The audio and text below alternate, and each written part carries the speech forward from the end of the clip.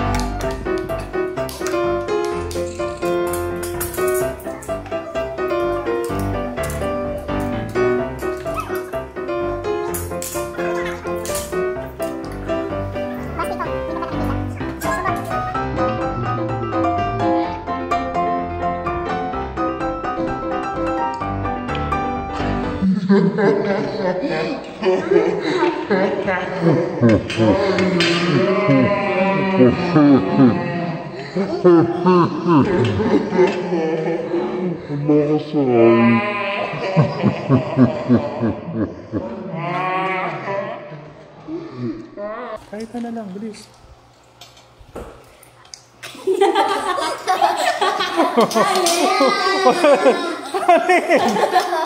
Wala ka sa ay.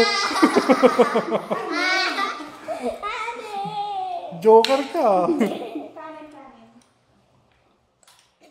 Ang hirap ng walang tit. Ako nga itong goma sa ilalim mo.